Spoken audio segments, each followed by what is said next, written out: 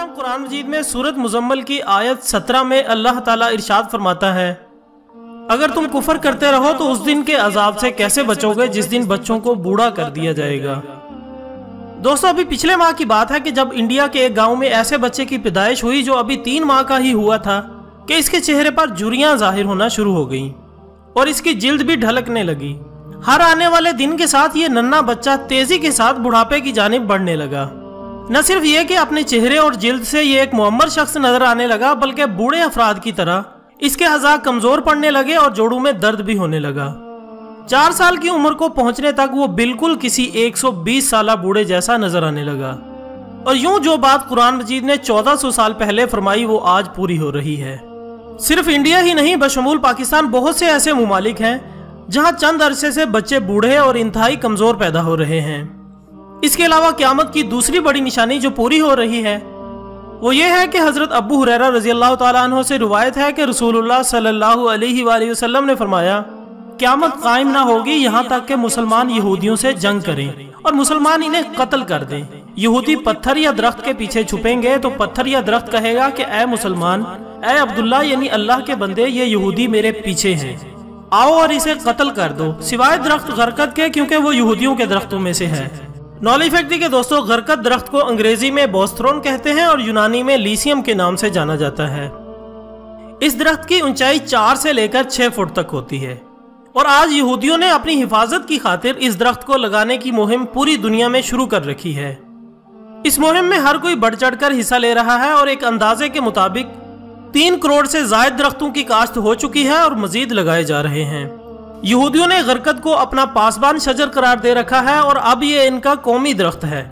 اللہ کے رسول صلی اللہ علیہ وآلہ وسلم نے قیامت کی نشانیاں بیان کرتے ہوئے فرمایا، اونٹوں اور بکریوں کے چرواہے جو برہنہ، بدن اور ننگے پاؤں ہوں گے، وہ ایک دوسرے سے مقابلہ کرتے ہوئے لمبی لمبی عمارتیں بنوائیں گے اور فخر کریں گے۔ خواتین حضرات سعودی عربیہ کے شہر ریاض میں عمارتوں کا یہ مقابلہ آج اپنے عروج پر پہنچ گیا ہے۔ دبئی میں برج خلیفہ کی عمارت دنیا کی سب سے اونچی عمارت بنی، تو ساتھ ہی شہزادہ ولید بن تلال نے جدہ میں اس سے بھی بڑی عمارت بنانے کا اعلان کر دیا۔ جو دھڑا دھڑ بنتی چلی جا رہی ہے اور آج عرب کی عمارتیں سارے جہان سے اونچی ہو چکی ہیں۔ عرض کرنے کا مقصد صرف یہ ہے کہ میرے پیارے نبی حضرت محمد صلی اللہ علیہ وآلہ وسلم نے جو فرمایا، وہ پورا ہو چکا ہے۔ اور پیشگوئی پوری ہو کر اپنے نقطہ کمال کو پہنچ چکی ہے۔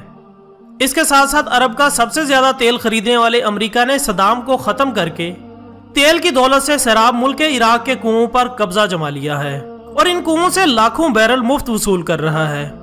آج تیل کی گرتی مانگ نے تیل کی قیمتوں کو نچلی سطح پر پہنچا دیا ہے، جس سے عرب ممالک کا سنہرا دور خاتمے کے قریب ہے۔ دوستو، سوال یہ پیدا ہوتا ہے کہ اس زوال کے بعد کیا ہوگا۔ اللہ کے رسول صلی اللہ علیہ وآلہ وسلم کی ایک حدیث ہے کہ قیامت سے پہلے سرزمین عرب دوبارہ سرسبز ہو جائے گی۔ ناظرین اکرام، سعودی عربیہ اور امارات میں بارشیں شروع ہو چکی ہیں، مکہ اور جدہ میں سیلاب آ چکے ہیں۔ عرب کی سرزمین جسے پہلے ہی جدید ٹیکنالوجی کے استعمال سے سرسبز بنانے کی کوششیں کی جا رہی ہیں، وہ قدرتی موسم کی وجہ سے بھی سرسبز بننے جا رہی ہے۔ سعودی عربیہ گندم میں پہلے ہی خود کفیل ہو چکا ہے۔ اب وہاں خشک پہاڑوں پر بارشوں کی وجہ سے سبزہ اگنا شروع ہو چکا ہے۔ پہاڑ سرسبز ہونا شروع ہو گئے ہیں۔ بارشوں کی وجہ سے آخر کار حکومت کو ڈیم بنانا ہوں گے، جس سے پانی کی نہریں نکالی جائیں گی، ہریالی ہوگی، سبزہ مزید ہوگا، فصلیں لہلہائیں گی۔ یوں یہ پیش گوئی بھی اپنے تکمیلی مراحل سے گزرنے جا رہی ہے۔ اور جو ہمارے پیارے نبی حضرت محمد صلی اللہ علیہ وآلہ وسلم نے فرمایا، اسے ہم اپنی آنکھوں سے دیکھتے جا رہے ہیں۔ رسول اللہ صلی اللہ علیہ وسلم نے فرمایا، قیامت اس وقت تک قائم نہ ہوگی جب تک کہ میری امت کے قبائل مشرقین سے نہ مل جائیں۔ اور جب تک میری امت کے قبائل بتوں کی پوجا نہ کریں۔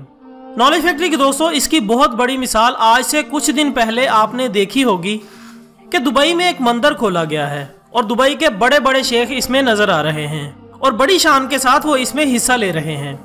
رسول اللہ صلی اللہ علیہ وآلہ وسلم نے فرمایا تھا کہ شام میں اگر سلامتی نہیں ہوگی تو کہیں سلامتی نہیں ہوگی اور یہ آخری مارکا ہوگا۔ اور آپ یہ دیکھ لیں کہ برما، شام، فلسطین، کشمیر بھارت اور وہ کون کون سی جگہ ہے جہاں مسلمانوں کا قتل عام نہیں ہو رہا؟ رسول اللہ صلی اللہ علیہ وآلہ وسلم جب معراج کی رات اللہ سے ہم کلام ہوئے، تو اللہ سے عرض کی میری امت کے پاس کتنا وقت ہے؟ اللہ تعالیٰ نے فرمایا کہ ایک دن۔ حضور صلی اللہ علیہ وآلہ وسلم نے عرض کی کہ اے مالک، کچھ وقت بڑھا دیں۔ تو اللہ تعالیٰ نے فرمایا کہ آدھا دن اور دے دیتے ہیں یعنی ڈیڑھ دن۔ اب میں آپ کے سامنے ایک اور حدیث رکھتا ہوں کہ رسول اللہ صلی اللہ علیہ وآلہ وسلم نے فرمایا کہ قیامت کا ایک دن دنیا کے ایک ہزار سال کے برابر ہوگا۔ اب ڈیڑھ دن کا حساب لگایا جائے تو یہ پندرہ سو سال بنتے ہیں۔ اور آج تقریباً ہم چودہ سو بیس سال کے لگ بھگ پہنچ چکے ہیں۔ بعض اور احادیث میں زیادہ دن بھی ہیں، لیکن میں نے ایک اعلیٰ درجے کے مفتی کی زبان سے یہ سنا ہے کہ آج سے ستر سال بعد قیامت کے آثار مکمل ہو جائیں گے۔ اب بہتر علم تو اللہ تعالیٰ کی ذات کو ہی ہے۔ بس یہی کہنا چاہوں گا کہ اب ہم بس کریں اور آخرت کی تیاری کریں۔ امت مسلمہ کٹ رہی ہے، فرقے پر فرقے بن رہے ہیں۔ حضور صلی اللہ علیہ وآلہ وسلم کی اہل بیت اور حضور کے صحابہ کو معاذ اللہ استغفر اللہ برا بلا کہا جا رہا ہے۔ قرآن سے دوری ہے، دین سے دوری ہے، نماز ختم ہو گئی ہے۔ رشوت عام، زنا عام، چوری عام، گناہ عام، گالی گلوچ تو بالکل بڑی بات ہی نہیں لگتی۔ نعت کو گانا بنا دیا گیا ہے، کافر کافر کی صدائیں چل پڑی ہیں اور کیا کیا درد دل سناؤں۔ بس دوستو، وہ دن آنے والا ہے جب سفید لباس میں لپیٹ دیا جائے گا، جب ناک میں روئی ٹھونس دی جائے گی، جب سفید پھٹے پر پڑے ہوں گے اور مسجد کے خادم آ کر غسل دے رہے ہوں گے۔ جب فرشتے آ کر پوچھیں گے کہ صاحب، اثر کو چھوڑیں، اب وقت چلا گیا۔ اب بتائیں کیا کچھ لائے ہیں۔ بس یہ سوچئے وہاں کیا ہوگا۔ دوستو، اگر آپ کو ہماری آج کی ویڈیو پسند آئی ہو، تو اسے فیس بک اور واٹس ایپ پر اپنے دوستوں کے ساتھ شیئر کریں اور لوگوں کی اصلاح کرنے میں ہمارا ساتھ دیں، تاکہ کوئی ہماری اور آپ کی وجہ سے نیکی کا راستہ اختیار کر لے۔ اجازت دیجیے گا اپنا دوستوں، رشتہ داروں اور گردوں آگے تمام لوگوں کا بہت خیال رکھیے گا۔ اللہ حافظ۔